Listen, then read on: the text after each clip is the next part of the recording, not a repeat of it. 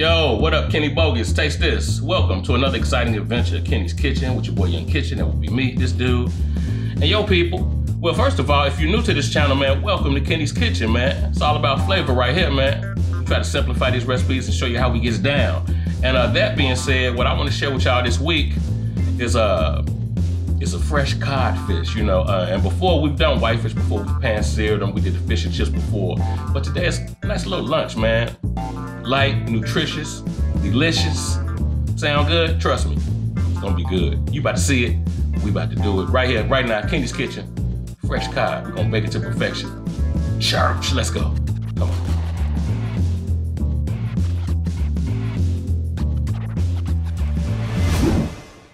Okay, so getting started, what I need y'all to do, people, is preheat the oven to 400 degrees Fahrenheit.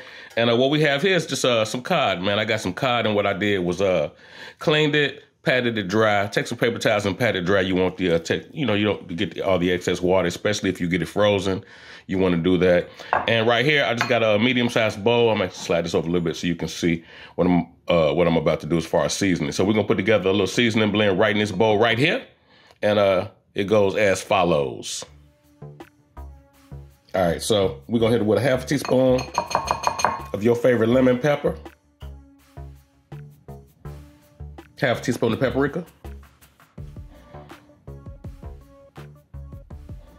half a teaspoon of onion powder, half a teaspoon of garlic powder. Well, just getting flavorful, people. Gonna tab it, make sure you got all of that in there too. I wanna add a little herb in there, so I'm gonna add a half a teaspoon of dried parsley. All right, then I wanna add a little bit of heat to the mix, right? So you can add uh, half a teaspoon of uh, cayenne pepper, but I wanna try something different. Actually, a good friend of mine hit me with this uh, seasoning. She had this harissa seasoning, and it's actually North African heat. You see that? We're gonna add a heaping teaspoon of that, and that looks like it got a little heat to it, right? And then we're gonna finish it off with a little bit, of, about a half a teaspoon salt, salt and pepper to taste, about a half teaspoon, same thing. Ba nice little balanced situation. Then we're gonna take some pepper in there. Shout out Jai for the harissa. Go see what it do. All right, so I'm gonna take a little, uh, get something to mix this stuff up with. Give it a nice little mix. All right. A little garlic, uh, got some big chunks in there. So basically you wanna mix this up real good. And then you wanna evenly hit the fish with it. So we're gonna uh, generously uh, smother this fish from up top, I'm just gonna let it rain, baby. Let it rain from up top. Then I'm gonna flip the script and, uh, you know, definitely wanna coat both sides of this thing. And then we're gonna take some oil. I'm gonna take some grapeseed oil and we're gonna coat it a little bit and uh, prepare it for the oven. All right, so like I say, both sides, like so. We're gonna move this out the way. And uh, from up top, we're just gonna hit it with a little bit of oil. All right, I'm gonna do the same thing on both sides. And like I said, we already got that oven preheated to 400 degrees. And this and this uh this codfish is it's an excellent fish for like you can. I, I've done it before, so it's delicious if you. I've done it with the fish and chips, so it's delicious, of course, when you do that. But I wanted to show y'all a healthier way to do it. You know what I mean? So let me uh, get a baking dish, and you can line it with baking paper if, if need be, aluminum foil or whatever. But I'm just this oil, I think is gonna do fine. So uh, I'm gonna transfer this to the dish. Okay, so I transferred this to a nice little baking dish, and I'm uh I put the uh the fish in oil side down, you and I'm gonna hit this other side with it, right? I'm gonna drizzle some on top,